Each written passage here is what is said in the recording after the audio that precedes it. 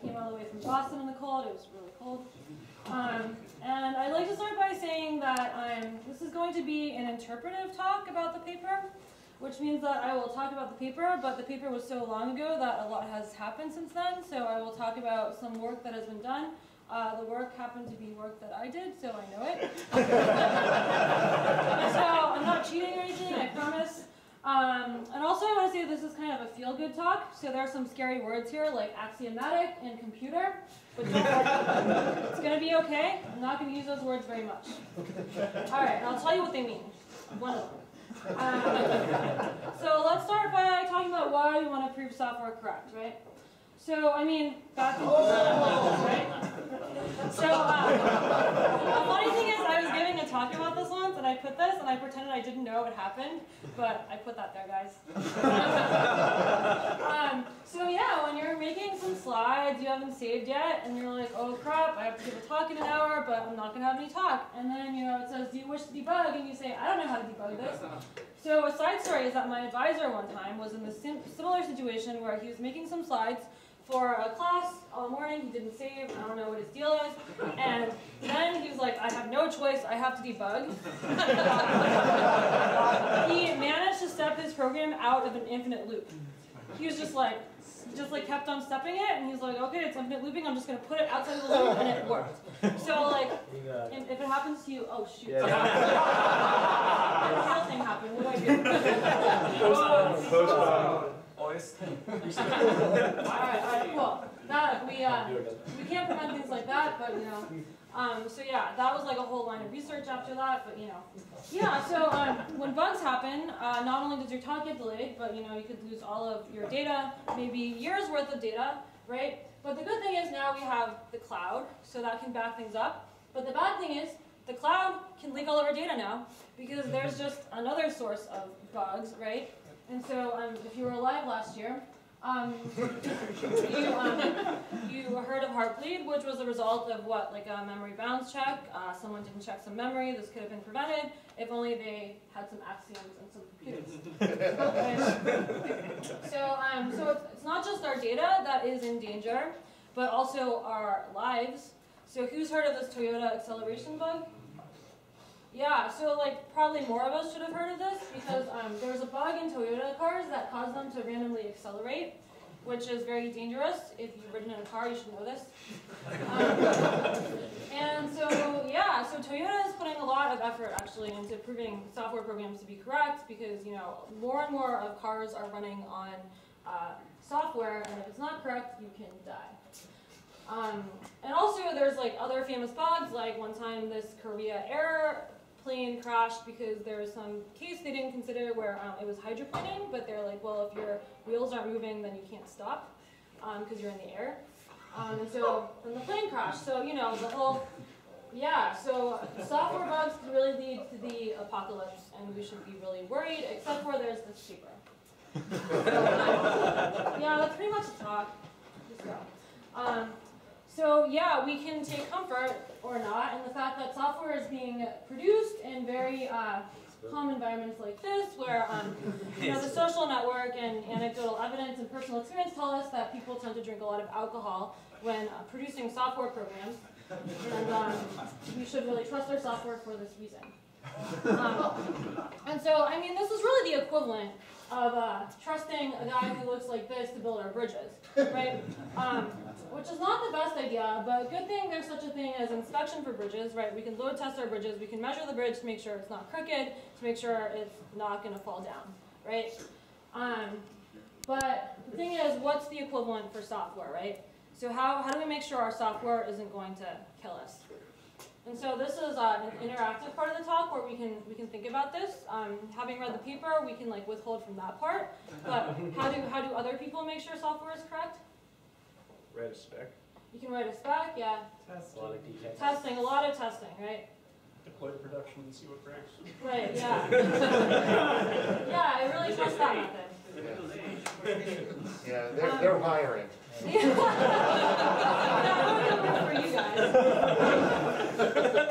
Um, yeah, so, so there's testing, right? Which is kind of like Ryan Gosling saying, I looked in the mirror five times, and every time I look good, so therefore I must look good, everything is good, right?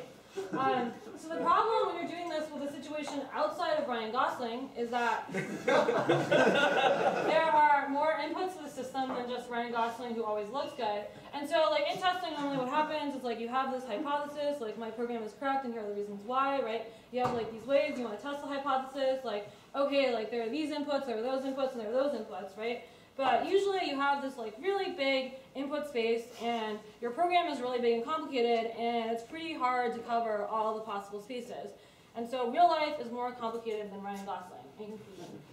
Um, but so another approach we can take is logical reasoning, where you have this set of facts that you build up about what you assume to be true over uh, the entire world.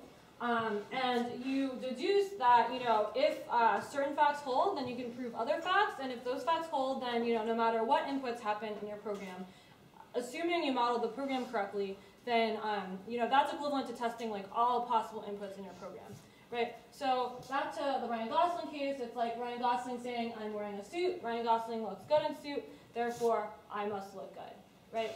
And this is kind of like those geometry proofs. This is a very small picture of that to remind you that um, you might have done in geometry class where you like draw a triangle, you draw some lines on the triangle, and then you write some numbers, and then you get an A. Um,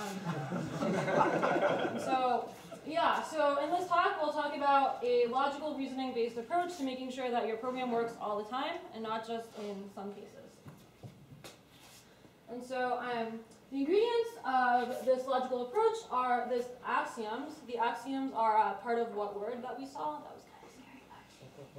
Axiomatic. Yeah. Um, so axioms are the set of facts that we have to work with, and um, what we want to do is we want to build theorems out of those axioms. And how we build the theorems is out based on deduction rules. And so axioms are kind of like Legos. Um, we're allowed to put Legos together as long as you know the holes go into the things or the things go into the holes.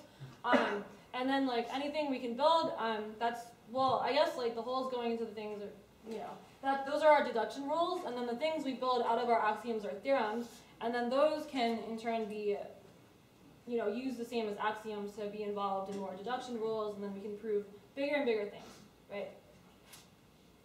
Cool. So everyone is still here. Um, all right, so then um, we can start by talking about some rules of deductive, deductive logic, just to give you a feel for like how this works.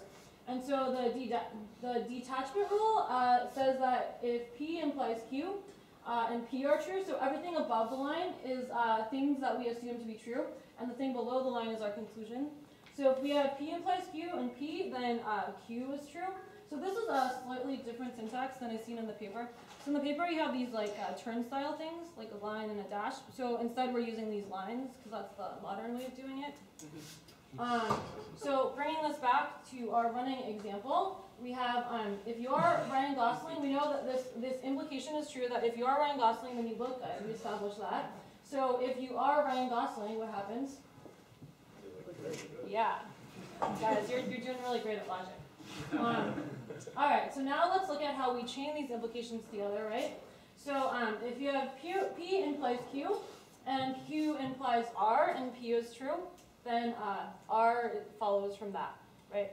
So that's kind of like saying, um, if you are Ryan Gosling, then you have great hair. All people with great hair look good. And so if you are Ryan Gosling, you look good.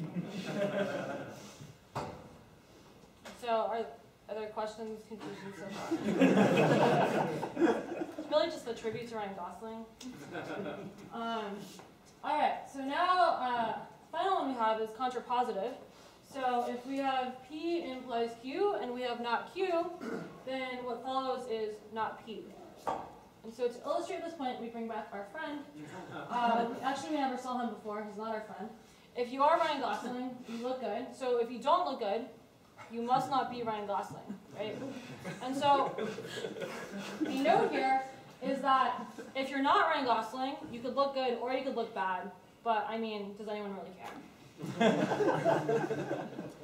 and so, all right, we have some deductive logic rules. Now we can move on.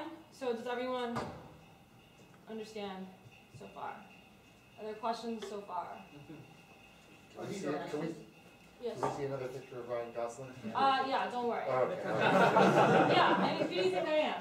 Um, all right, so we have um, we have this nice basis for reasoning about things, right? But what about programs, right? So programs are really complicated. There are lots of parts to them, and um, it's not always easy to characterize them. And so now we know how to reason, but how do we reason about programs, right? And so reasoning about programs was uh, Hoare's contribution. Well, so like it's questionable. It's not questionable, um, so well, okay. There are many people who contributed to reasoning about programs, but Hoare was the best writer out of all of them, and so his paper gets cited the most. And so let this be a lesson to the world. Um, and so yeah, so this is the, the contribution of this paper and everything else I'll be talking about. Um, and so there was some previous work by um, Perlman and someone whose name starts with a G, Guinness, and Floyd on characterizing program state, right? And so there are many ways you can characterize the state of a program, and uh, usually, like, you know, you characterize the part of program state that matters to you, and here are some examples of valid ways you can describe program state, right? So I can say that my variable x is equal to 3. That's a description of my program state, right? I can say y is greater than x. If x is not equal to 0, then y plus z equals w. This could be true, I don't know. Um, uh, I can say S is the summation of all the things, uh, all the elements I in something A, maybe an array. And I can say something, this is a for all. I can say for all I, um, from 1 to n, you know, the ith element of A, probably an array, is greater than the previous element of the array. And also I can just say true. Yeah, true is a, a true thing about my program state.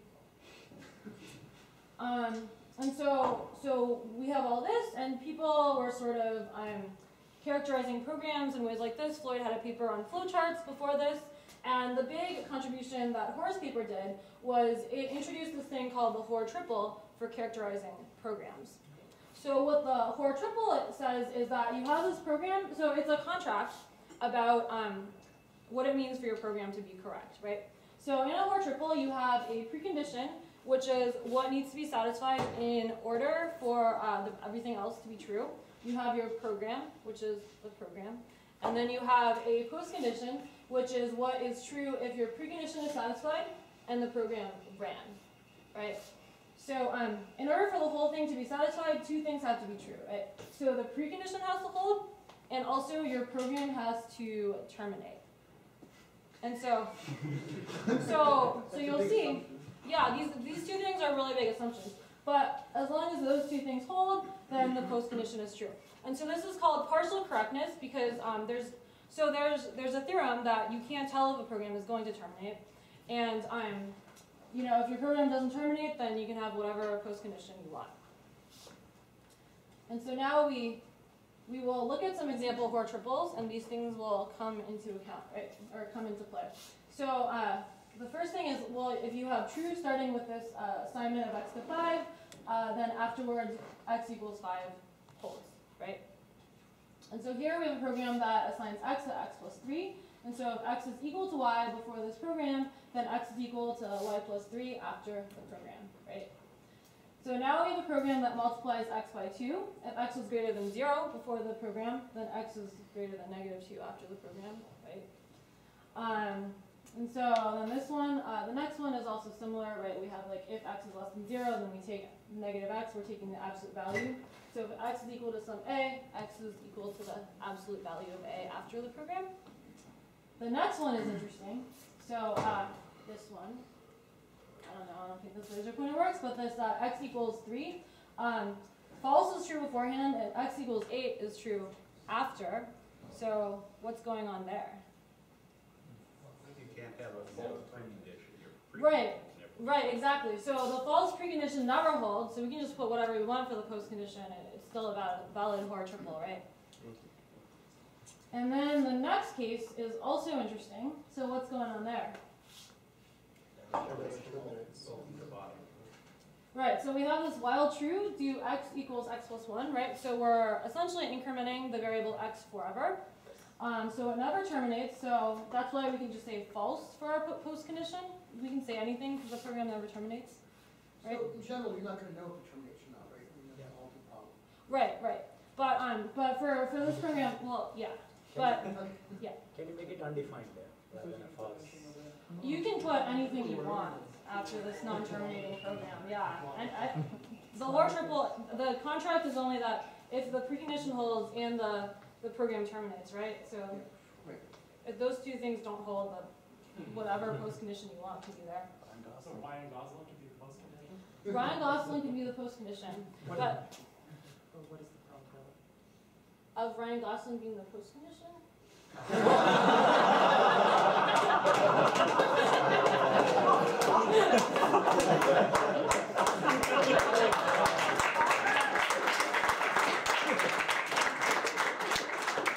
always the postcondition.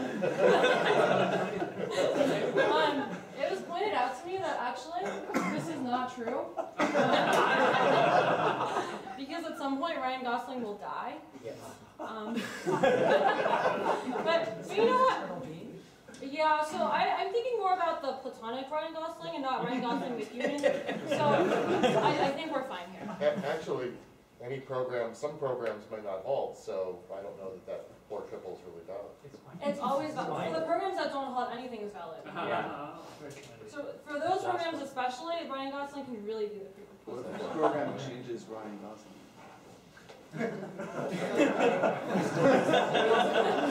Um, you're right. There's some problems here, guys. This is just to illustrate some point. If not relevant, we're gonna move on. No side effects. Yeah, yeah. He's, he's immutable. um, so now we get to the rules from the paper, guys. Um, so who read the paper? You don't have to tell me. Actually, no, don't tell me. Uh, don't anyone. Um, let's just keep going. So, um, so the assignment rule from the paper, which all of you read. Um, we have uh, x equals x plus 1, and we want to say x is less than or equal to n after, right? And so if you'll recall from the paper, uh, we have this axiom schema. So what it means to be an axiom schema is that it's not an axiom, it's something that tells you how to make axioms. So it's telling us how to make this axiom. Um, and so it says that if x is a variable identifier, f is an expression, and p naught is obtained from p by substituting f for all occurrences of x, right? So um, what should go in question mark box? X plus one less than equal to. Exactly. Yeah, good work, everyone. Um, and so, um, to illustrate this point with our running example, um, so we have uh, x equals x plus suit, and then we get Ryan Gosling in a suit after. So what should go before? Ryan Gosling. What's that? Ryan Gosling in We don't know anything about naked Ryan Gosling. Do we have any deduction rules for that yet? No. So wait, who- what, what goes in? Naked Ryan Gosling. We, we don't. Calm down. We, we haven't seen naked Ryan Gosling yet. We don't have rules for that yet. Um, but, but what? It's possible, but we can't prove it. Um, so prove you was ever naked. Is Ryan Gosling? yeah. So we have x plus suit equals Ryan Gosling before before our thing. Um, so right. So that's assignment. We have assignment rules so far. Are there any questions about assignment? Okay, cool. Yeah, Ryan Gosling makes everything clear. Um, Um, I, I have a question, yes. not a funny question. Um, we, we were talking about Hoare triples, and then we started talking about schemas for axiom. Right. Uh, it, it is, is essentially a Hoare triple an axiom? Is that one way of Um, thinking about it? Yeah, so, okay, sorry, I forgot to say that part because I got distracted by, um, Um, yeah, so, so there are really two contributions of this paper. Uh, one is this way of characterizing programs, and so like characterizing the specifications for what it means for a program to be correct, right? And then once we have that characterization, we need a way to prove that characterization, right? And so we need a way for a computer to automatically go through and, or a computer plus a human or some combination of something to go through and deduce theorems from the axioms, right? And so what the assignment rule schema and all these other rules do is they're providing a way to go from axioms to theorems. And so, right, yeah.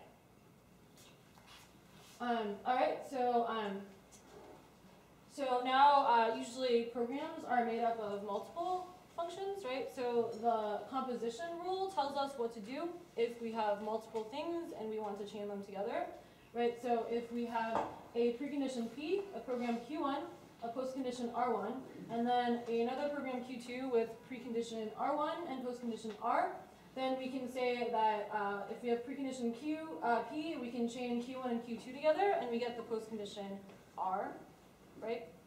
Um, and so some examples of this are um, if we have a program that increments x by 1, and we have x is greater than 1 before the program, and x is greater than 2 after the program, and then we have another program where, that does the same thing, except we know x is greater than 2 before the program, and greater than 3 after the program, we can chain them together, and know that x is greater than 1 before we run everything, and it's greater than 3 after the whole thing. Right? And so this is really useful because like you can, uh, an, an automated prover can go through and chain your different functions together once you've proven little properties about them. So if Ryan Gosling's right two suits, he's just as good looking as if he's If you have some rules for that, yeah. Um, right, so, um, now there's a thing that we wanna do, which is, um, we have the same first program, and we're taking the, uh, negative x for the second program, and we have the precondition that if x is greater than zero before we run this, then x is gonna be less than zero after we run it. Um, and so if we want to chain these two together, what can we say about the post condition based on the rules we have so far? X is less than negative two. So someone said not much, and why is that? Because the R one is not the same. Like, Right, X greater than exactly. Two is not the same. We don't have the same R1, and so with the rules we have already, we actually cannot chain these together based on uh, things we've seen already. But Type mismatch. Yeah, so we have a consequence rule, which tells us how to use implication to chain things together, right? So if you have uh, P, uh, P is a precondition for program Q and R is a postcondition and R implies S, you can replace uh, R with S, and you can replace S with P if S implies P as the precondition. And so now that we have the consequence rule, we can go through and we can say, well, x is greater than 2 implies x is greater than 0. And so now we can say x is less than 0. And so the question you asked before, like why are we defining all these rules? Well, we're defining them so someone can go through and uh, someone or some machine can go through and methodically deduce the things we want to prove based on the axioms we have about what's true. So are there questions at this point? I know you guys all have a question, when is Ryan Gosling coming back? So he's coming back. Um, and so, uh, so if you'll recall, we had, uh, this rule, which is, you know, we assigned Ryan Gosling to Ryan Gosling plus a suit, and we got him in a suit, and what was our precondition? And some people are wondering about naked Ryan Gosling, right? So, so what would it take to, um, to say that Ryan Gosling was not wearing anything before we assigned him to a suit? Yes? That's a half naked. Um, so I didn't know what the like rules were for uh, decency of the talk, so I didn't want to take any risks, you know. Um, Only if he was wearing an F X plus half a suit. well, this is like kind of half a suit, you know. Um, It's not the full We'd Ryan have to say that naked Ryan Gosling plus suit, because there's Ryan Gosling in a suit, right? That's yeah, exactly. So, so this guy here says you would have to say that, um, you know, if uh, if X plus suit equals Ryan Gosling, then X had to equal uh, Ryan Gosling without a suit to begin with. And so if we if we had this rule, right, this allows us to say Ryan Gosling was not wearing anything before, which is what everyone wants. Not you. Shouldn't it be, shouldn't it be the other way around? That's what I was thinking. um. Yeah, I, I think the That's what I middle was line needs to be reversed to be. in Uh, the. Oh, you're right. Actually, good, good. That was uh, I put that there to. to yeah, you're right. This actually should be switched around. But um, yeah. So we will do that next time. It's a bug in the slides. Yeah, it's a, it's a slide. It's bug. problem. Didn't verify them. Um, cool. So um, so we also have iteration now. Um, so this rule is a little bit complicated. You don't really have to understand it, but I put a little key there to help you understand it if you do. Um, so we have while B do S. Um, so that's what the while loops look like back in the day of Hoare's paper. Um, and so if you know that P is true before, um, the, and P is true after, the extra thing that happens is uh, not B is also true after. So you have um, P is true, and then B is the precondition for, for going into the loop, and then P is the postcondition for the loop. Um, you can have this uh, this property when you come out. Yes. Is this assuming side effect free operations? Uh, Presumably the while loop could change P, right? So so the thing is, that's a really good question. Um, so P is what's called a loop invariant, Okay, and so it is something that is true even if side effects happen inside the loop. okay. And so um, it's actually very hard to find this P. So I'll show some examples of using the iteration rule, and then I'll talk about a little bit about how hard it is to find that P. But um, but yeah, so you do have to find a P that holds throughout the whole thing. Yeah, Yeah. I'm glad you used the word variant, because they use that a lot in algorithms. Right, yeah, yeah. Um, right. And so, so here's just some basic examples of uh, using uh, using the iteration rule. So we have while x is less than 10, do uh, x equals x plus 1. So this is just really simple. True is true before the loop iterates, and true is true after the loop, loop iterates. And then the extra property we get is less, uh, x is now greater than or equal to 10 after the loop, right? Um, we can have a slightly more interesting property that x is greater than zero. So like if we know that is true before the loop iterates, we can also show that that is true after the loop iterates. Um, and so with loops, there's a whole interesting body of work that has happened after this paper, which is finding, uh, so there, there are these notions of uh, weakest precondition. So what is the weakest statement that needs to hold before, um, before your, your program happens in order for everything else to hold? And uh, there's the notion of strongest postcondition. So what is the strongest thing you can say about after the program executes? And then there's this concept of a loop invariant. So an invariant is something that is true no matter if all the other state changes. And so, so your question is actually a very good one because so there's a there's a notion that the state has to change because if the state's not changing, then an invariant doesn't really do very much, right? So the invariant is what stays the same if all the other state changes. And um, there's a whole body of work on finding loop invariants. And um, so actually, finding um, finding there's a thing called the strongest loop invariant, which is the strongest possible p that holds, and that is undecidable. So uh, does someone want to tell me what it means for something to be undecidable? It's really hard. It's really hard. You Um, can't assign a truth value. what's that? Can't assign a truth value. Right. So you can't you kind of you can't assign an algorithm for figuring out what it means, right? And so um, so what it means for something to be undecidable is you can write a procedure to compute it, but you have no guarantee that that will ever finish. And so some examples of things that are undecidable are determining whether a program ever terminates. Um, and there are a lot of other problems that are undecidable, and people often prove that, you know, doing this is equivalent to determining whether a program terminates. So yeah, so finding the strongest loop invariant in many domains, most domains, is equivalent to deciding whether a program terminates essentially. Um, but it doesn't mean that we can't find loop invariants. It just means that um, if we try to find them, the procedure to find them might infinite loop. It might give us a loop invariant, but it's not the strongest. So in practice, there are tools that will find these loop invariants, but we just don't have guarantees that they will terminate or give us the best one. But can you still prove algorithmic correctness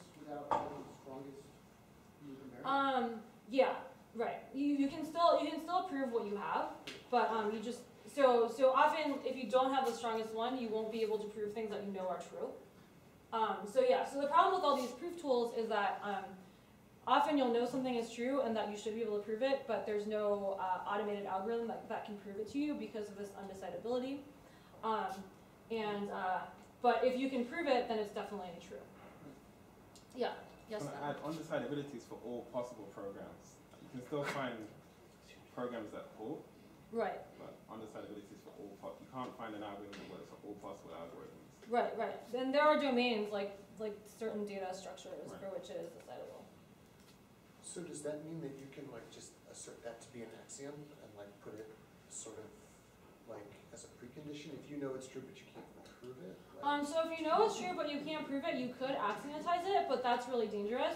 So when you're You could argue that you don't know it's true. right, right, because like so when you're trying to prove something, especially in an automated way, you really want this automated assurance that what you thought was true is um, I mean, Is in yeah, fact you wanna sandbox it or something. Yeah, like- it is in fact deducible from like the axioms, right? So you can axiomatize the hard parts, but then you that that goes into your trusted base, and you really want to minimize that as much as possible. And and in general, actualizing what you can prove is true doesn't work. You go to actually prove that. Yeah, so like yeah, you can. So like I guess like the the trap doors, you can just axiomatize things, but um, then you don't know that they're true. Yeah. There's just a postulate. Yeah. All right, cool. So um, so uh, so here's an example of characterizing programs are uh, in Hoare logic in real life. And so this is a program that uh, what does this program do? I'll give you guys a second to read it. Exactly, yeah. So this is um, this is called sum, so you can look at it that way, or you can see that you have the sum variable that's being assigned to zero. You have this integer i, that's your uh, loop variable, and then while i is less than the length, um, which uh, I got this slide from someone else, and there's a typo there. but uh, I think that's supposed to be len. Uh, and uh, see, I put that there in case this happened. Um, It's But, never uh, gonna terminate. It's interesting to see it perpetuate.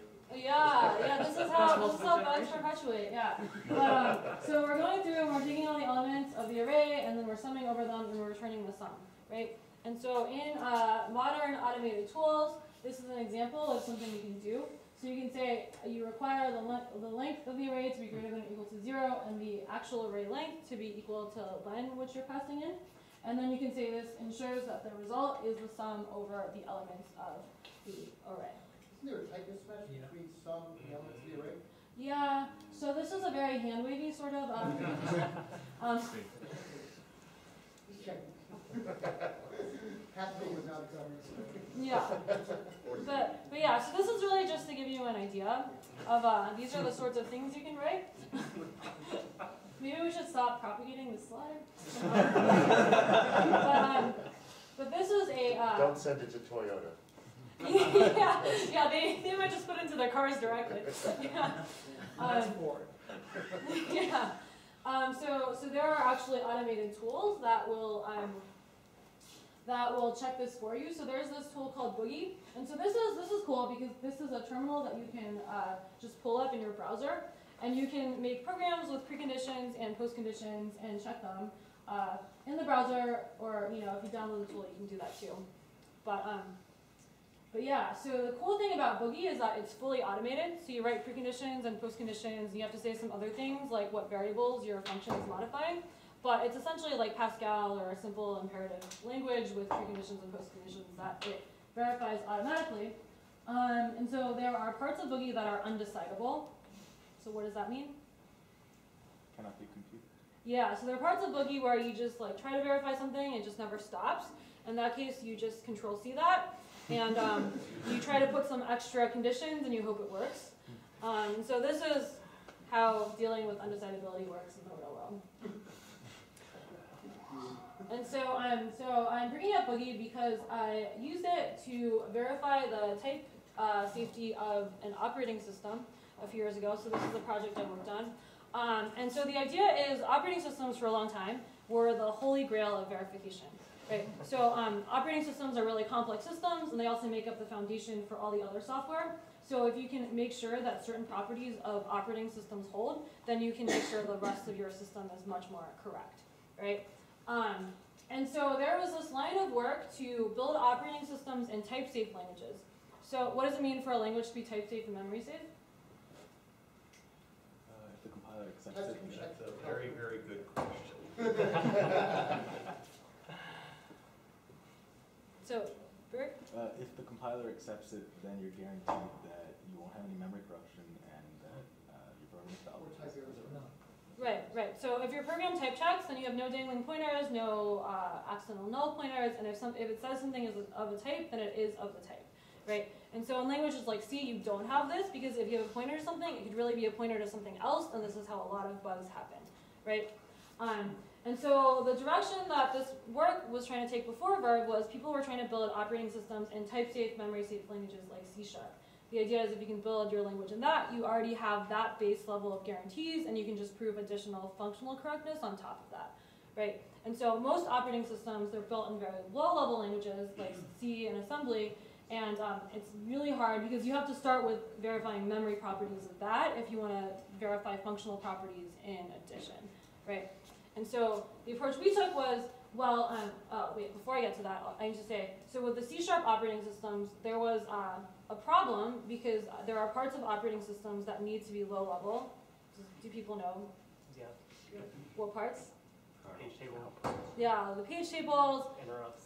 interrupts, yeah, like anything having to do with like hardware and memory, right? like you can't really write your operating system in C sharp because there's just all of these calls that are unsafe to low level code, right? That um, subvert all your guarantees. Because when you live in C sharp, your the guarantees, well, if everything is written in C sharp, then we have all these nice guarantees.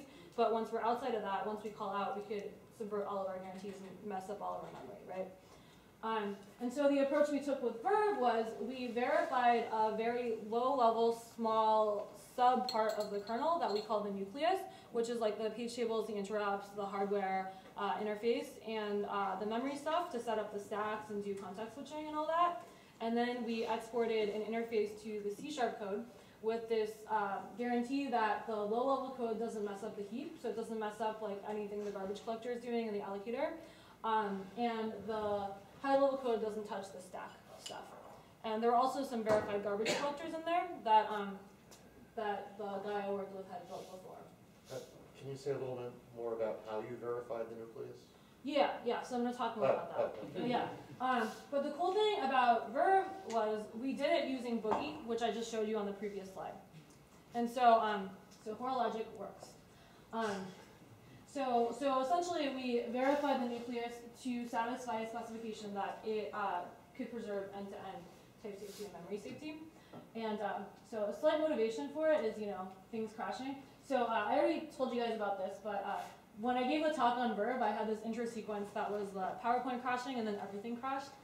Um, and I spent like most of my time practicing the timing of that, so people thought it was a surprise. um, but yeah, so um, so in uh, in Verve, the axioms are the actual assembly instru- instructions. So do people remember from the paper what the axioms were? All of them? All the axioms of the paper? Well, so, so like, uh, Hoare had axiomatized a bunch of stuff about math, right? So back then, all programs were just adding numbers to each other or something like that. So he had talked about, you know, addition is commutative, associative, and like uh, distributive properties and all this other stuff, right? And so those were the building blocks uh, off of which you could do the rest of everything else. And so in our system, the building blo- blocks were the assembly instructions. And so um, we wrote the rest of the system in terms of assembly instructions that we had axiomatized the specifications of.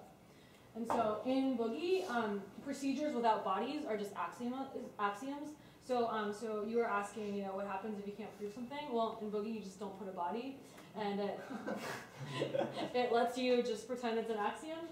Um, so for us, what we did was um, for things like load. So load is an assembly instruction that reads a pointer value from memory, and so the return of load is so load takes a pointer, and the requirement is that the pointer is a valid memory address, and so memaddr is a function that we define somewhere else. Um, also, it has to be aligned, so like we're reading from like somewhere where a value actually starts in memory. Um, this load instruction modifies the instruction pointer EIP. And so in the next slide, it might become more clear how we're, we were actually modeling registers if you care about that. And then um, what load ensures is that the uh, value that it is returned is a valid word, so it's like a memory aligned word, and that the value is equivalent to what we're modeling in memory at the pointer location pointer. And so, um, so we have a set of assembly instructions that we are treating as axioms like load, store, add, and a bunch of other stuff. Disparate. Uh, was was coming up with the guarantees about the assembly instructions like uh, a significant portion of the work? Um, yeah, so, um, so I didn't do that part of the work, but Chris did, but he spent a lot of time writing a giant specification of what it meant for the high level code not to touch the stacks and the low level code not to touch the heaps. Yeah, what I did was just write everything else to like conform to that. Yeah, yeah, but it- yeah, it- that that was really tricky, and um, so that is what's that is trusted right now. But um, so after, so I had interned with Chris, and Chris had another intern who was supposed to verify certain properties on top of that, but they never finished that. But yeah, but that that specification is really hairy. Cool. Yeah. I think they did finish that. Actually, there, there was a publication earlier this year that was a continuation of Verve and, Oh, right. Yeah. Yeah, no, he did finish that. yeah. Sorry, just point of information. yeah, yeah, with um, Uh, it's- Dunfun. there are a couple, I think there are like three interns. Okay. Yeah, there, there were a lot of people. Okay. Cool. So- Yeah. So so that might have finished. It terminated. Yeah, and finally terminated. There's a post commission stack. Um, yeah. Um, so how how this worked was um, so we wrote boogie that looked like this that called our uh, axiomatized assembly instructions. So this is something that reads from the keyboard and checks the keyboard status. You don't really have to know what happens here. I'm just showing it to give you an idea of how the whole thing was constructed. And then we had a trusted translation of that to actual assembly. And so we wrote uh, boogie our boogie assembly. Um, and we also um, we modeled our registers by declaring global variables that corresponded to our registers that got translated to the actual registers. You care about that. Um, and so yeah, this this translation was trusted, but this whole thing was verified automatically. So the paper talks about go-tos being probably terrible, which I believed when I read it. Um, but you're using go-tos, was Well, that, was, like, how do we handle that and well, so the, did the it thing end is, actually being easy in the end? Well, the thing with go-tos being terrible is like if you if you can avoid it, you should. But like when you're writing really low level stuff, you have to do it sometimes. Yeah. Well, like, how, does it end up being not that difficult to do? Um. Well, so. Well, so it's it's very easy to write in Boogie. So is the question like, does Boogie have trouble verifying things about it? So well, for go-tos, like if you just if you abstract it correctly, like this is a function, the go-to is actually just like this calling that function, then it's Mhm. fine. So it really depends on how you encode it. Okay. Yeah. Um, yeah. Um, cool. So uh, summary of what was verified. Um, so the green stuff is what was verified. So there was an, a verified allocator and garbage collector. Uh, the code to set up stacks and do stack context switching is verified. And then the, the interrupt tables and also the interface to the hardware devices is verified. And then all the hardware is trusted, the specification of the hardware and the memory bounds, that is trusted. Sorry, I'm an ex-device driver writer. That's so funny, it's so naive. well, you know, you can't do everything. Maybe it's a small subset. At least you put in green, right? Yeah, I'm putting it in red, come on. what, what do you expect? Um, and then the interface specification, which you were asking about, Bert, um, that is also trusted until, I guess apparently they, they did something with it that makes it less trusted now. Uh, what, what exactly do you mean by a verified garbage connector? Like, what does that imply? Um, so the garbage collector was uh, implemented in a similar manner to how I described. And so they had properties about what it meant for the garbage collector to maintain the well-formedness of memory. And then they used Boogie to verify that the garbage collector was implemented to adhere to that. I'm actually interested in what you mean by trusted. Oh, so trusted means it's not verified, so it's like axiomatized, All right, Yeah. okay. yeah. So, what verified boogie? That is also a very good question. Uh, nothing verified Boogie. So Boogie is trusted. but there are provers that will give you a proof that you can check against um, something else. Boogie doesn't do that, so it's trusted. Yeah. determines that your axioms you're laying out in your verification are correct. Um, so that is also trusted. The code you write, the verified code is trusted. So the so sorry. So effectively, like, the very minimal specification you gave um, a moment ago in Boogie was not simple. It- You might be able to verify by hand, but I would imagine that writing an entire low-level kernel, the nucleus, with all of those verifications, you have a lot of lines of, of this axiom set, that like, Right. there are preconditions in hosting this, Well, so so the only thing that's trusted is the specification of the assembly instructions. Those are the axioms, but everything else is um. So those preconditions and postconditions don't have to be correct, but they have to eventually uh, verify against the axioms and also the specification, the interface specification. And so if you have the wrong ones, that the verification won't go through. Okay. And so, so I guess like the takeaway point is that what is trusted is what's down here and what's up there, but everything in between is um, is verified according to Boogie going through and applying various deduction rules. Yeah, but I mean, like, how, how do you know that you didn't have some, like, failure in your logic that happens to ver- like, verify all the way through, but it does the thing, not the thing that you implied in Right. So the failures in the logic will be introduced down here and up there. Um, and so yeah, if you if you specify so what I showed you about the keyboard, that if you had a failure in your logic there, then the system wouldn't verify. Okay. Um, So I I guess there's nothing that, that, like, that you've introduced that validates this verifications, like, it, it does the thing that you wrote it to do, but it doesn't necessarily do the thing you intended. Right, right, exactly. So the verification only verifies that um, your your axioms and your your axioms satisfy your specification, but nothing else. Alright. Yeah. Other questions?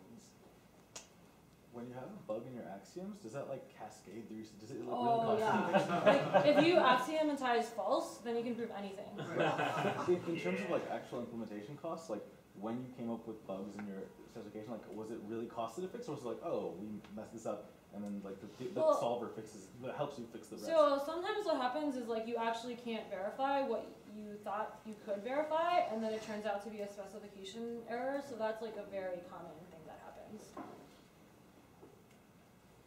Um, yeah, so to give some idea of the context, there has been a lot of other work that has verified more functional properties of operating systems. So around the time we did this work, there's this project seL4. They um, are a verified version of the L4 microkernel. So seL4 is implemented in C and assembly. They have like a very small amount of trusted assembly that they trust. And then their C code, they verify functional properties of that. And how they do that is very hard. Um, so they, they have a C implementation, they have a Haskell reference implementation that does the same thing as their C implementation. They prove equivalence of those two, and then they prove properties on top of the Haskell. And that's pretty much what you have to do to get functional properties out of C programs. Um, there's also like really, if you're interested in this stuff, there's like really, really, really cool recent work on like verifying hypervisors. And there was this paper at um, Yale that recently came out where, um, so so cool like tangent. They also use logic. It's relevant, guys.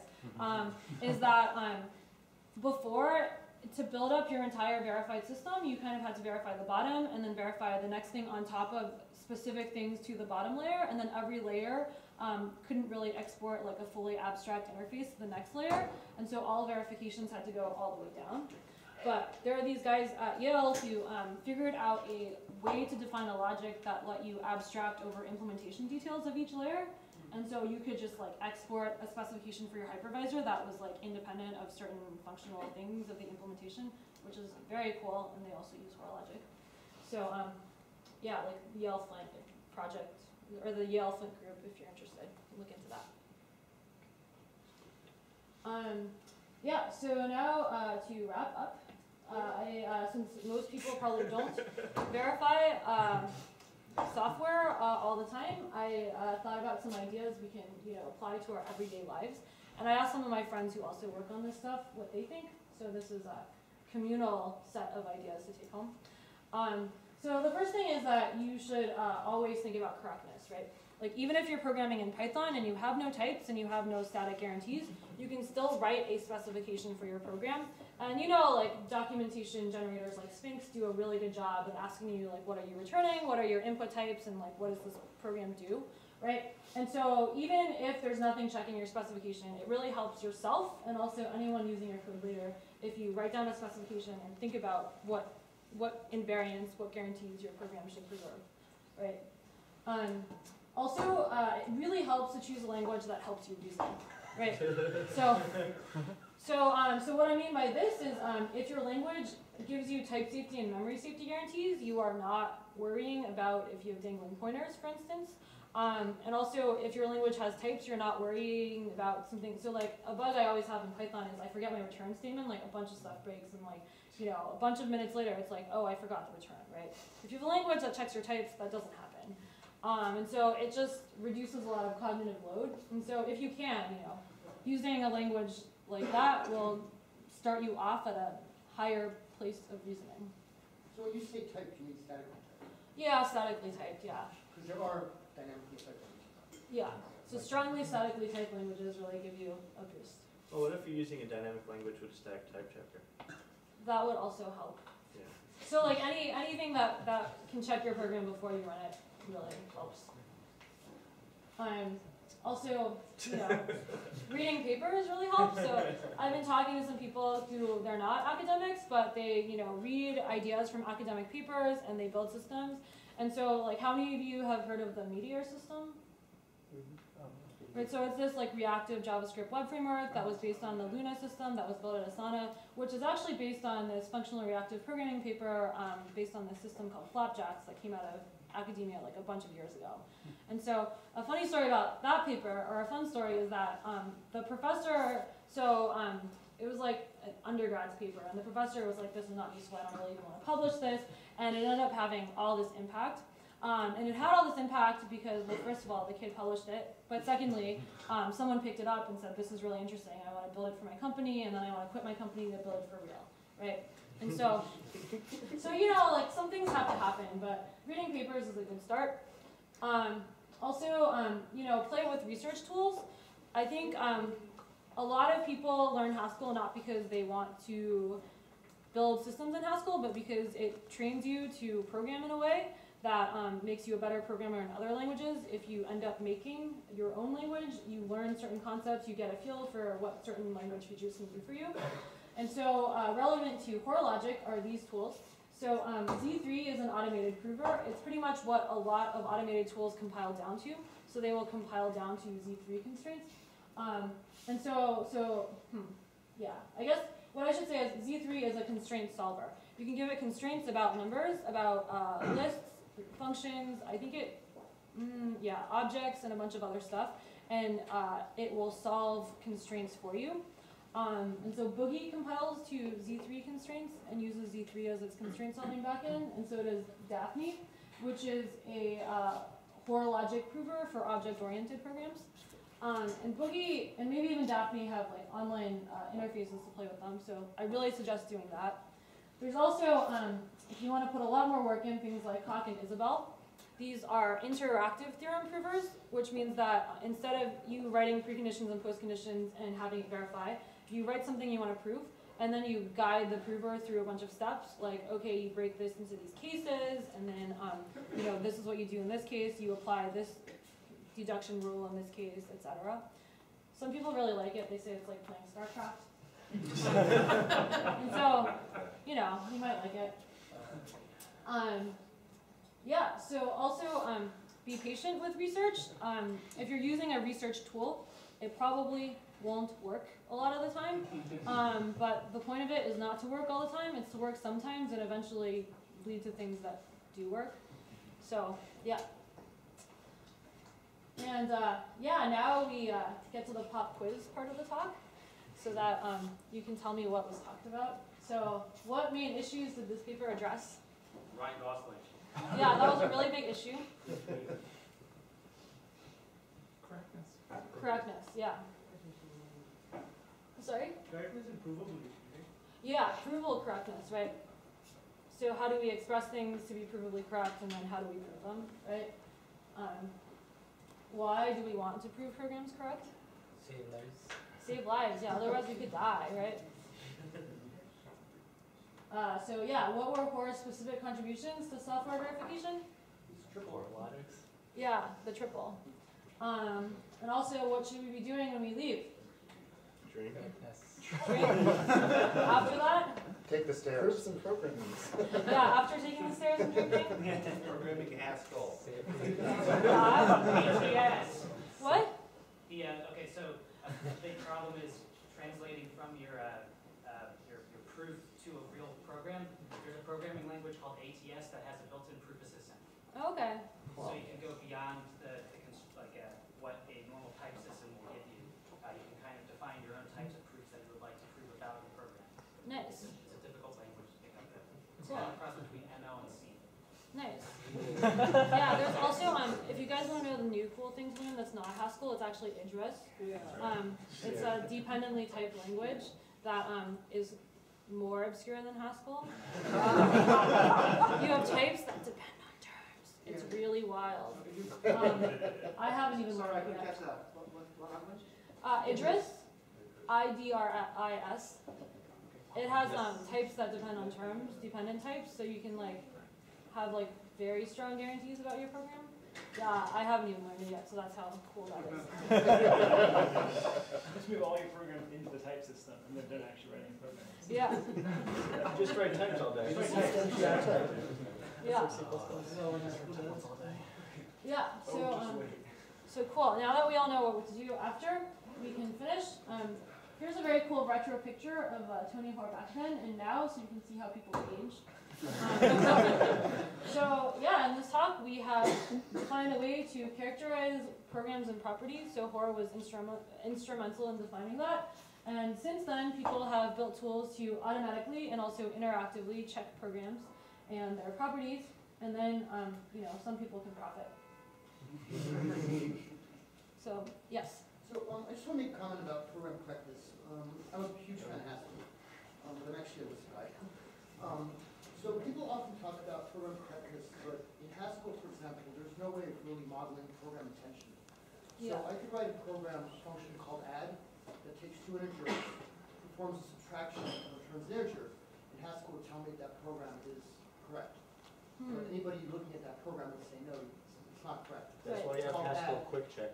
Yeah, so there's kind of like, what I like about Idris actually is that Idris is actually moving in a direction where you start to specify constraints so they can actually start to specify program intention. Right, right. But I just, I don't like the word, um, people use the word correctness in, in a way that's not, that's a little too broad. Hmm. Um, I, I, I think people should qualify it more, because, because correctness, if, if your program doesn't do what you intended to do, it really doesn't matter for type checks, right? Yeah. Well, I mean, it's a step. I mean, think about it, right? Yeah. If you're like, I don't know, doing things with strings instead of doing things with integers, that's even further away. Yeah, Yeah. So every time I read about uh, proof solvers or uh, see presentations like this, the example is always basic arithmetic. I can prove that you can sum up the things in an array. Yeah. But I actually want to do more complicated things in my programs. How, I can, I have trouble seeing how you make that leap from asserting that x plus one is greater than x to showing that the result of a random number generator is a uniform distribution of random num- numbers. So if, if you want to do that, you also need probability in your prover. Um, so I mean, there are provers that do that. So there's this thing called um, probabilistic relational F star. But um, but I mean, a lot of these solvers they only have they don't have theories like those deep theories of numbers built in, and they just have linear uh, integer arithmetic. And then um, uh, so so essentially like all the things that you want to do are have to be built up of that. And so a lot of so I guess there are like different classes of properties of what you can prove about programs, and so a lot of basic correctness properties are just based on linear arithmetic. Like memory well-formedness is just like you like do some memory operations and those are just numbers. There's no like probability distribution in that, right? But if you're doing random number generation with like probabilistic stuff and all that, like you do need like a, a theory of like probabilistic numbers for that. That's like another layer. Does, does that make sense? Yeah, I think, well, it sounds like you're saying it's hard to prove higher level properties. Well, I guess what I'm saying is like the basic level, like what most, what most verified software is verified off of right now is not that. It's just like the linear arithmetic that that is built up off of the small examples that are presented. And then like if you want to do that, like there's like a whole other, like there's whole other theories of like how you prove that. And that's like uh, the next level. And so I guess it comes back to what, what this gentleman was saying, is that it, it will prove, you may be able to prove that my algorithm is implemented correctly, but you can't prove that my algorithm is correct. Well, I mean there's It's a It's really, really hard to model. If, if, if, Yeah. if your program isn't doing what you tell it to do, I guarantee it's not doing what you want it to do. So there's sort of, the- if your program is not doing what you, what you tell it to do, I can guarantee it's not doing what you want it to do, what you need it to Or do. if it is, it's completely Um, yeah, so there, there's sort of, there's multiple levels of Yeah. Yeah, correctness, yeah, yeah, absolutely. um, that, you know. But that's there- still there- orthogonal to what we're you know, discussing. does- Does the What we're program, discussing is whether or not programs can be actually correct. So it's a question of abstraction, really.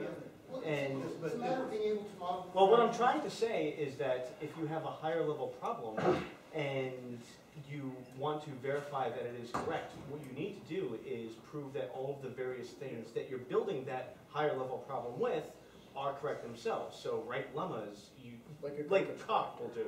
Uh, you write, you know, an interactive, uh, proof of all the various building blocks that you're doing, you verify those, and then you can then imply through deductive reasoning that, that your higher level program is correct. It's difficult to explain in a presentation, but. There are also like different dimensions of correctness, right? So for every, so you have different theories, and so like what I mean by theory is there are a set of rules defined in, in a world. Um, so there, there's like. the thing is happening.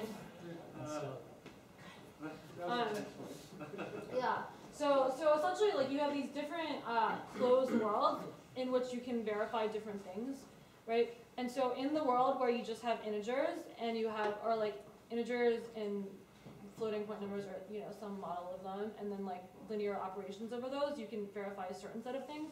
And so the property that you are describing, you can't verify in that world. You have you need like this other world that has like this notion of probability to model that. And so that like so that's the so if you go to a presentation that's like the, the next next next level presentation where they're talking about like theories of for verifying that, they will talk about that, but it's not it's in a different different space of definitions than the, the basic stuff.